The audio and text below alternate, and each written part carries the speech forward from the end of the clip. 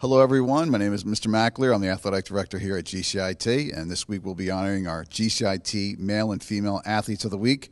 First is our female athlete of the week, Jess Beck of the uh, GCIT girls soccer team. Uh, Jess, congratulations on being honored this week. Last year you, uh, you, you broke the school record for goals for 17, and this year you have four. So, you know, what, what are some of your goals for the season?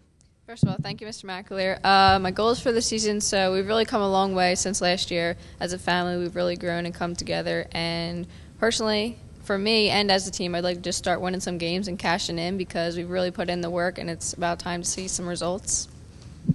Sounds good. How long have you been playing soccer? And well, you, this is your fourth year on the varsity, but how long have you been playing soccer? Definitely been playing for as long as I can remember. I guess I remember even playing on the same team as my brother. Our parents would take us to the micro mini soccer, so it's been it's been quite a long time. Uh, it's early in the season. I know we've had a couple injuries, a couple tough you know uh, losses, and we had a tough tie yesterday. You play at the Union game in a couple weeks. That's got to be exciting. Yeah, it is exciting. Everyone's really excited, and I think the thing that's most important to us is that even though we're losing, we're not shutting down. We're coming together closer, and hopefully that'll really help us come out with a win, especially at the Union game. Okay. Well, there she is, Jess Beck, our GCIT Female Athlete of the Week.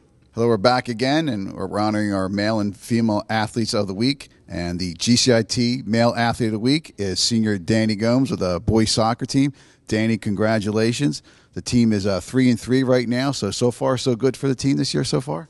Yes. Uh, thanks for uh, honoring me as athlete of the week, and we're getting getting close to winning. We're there. We just have to start finishing, and uh, big step from last year. Like we are like a big family this year, as in last year, like it was the seniors and then then all the on the classroom. But now, like we're all gelling together. We just need to put in the goals.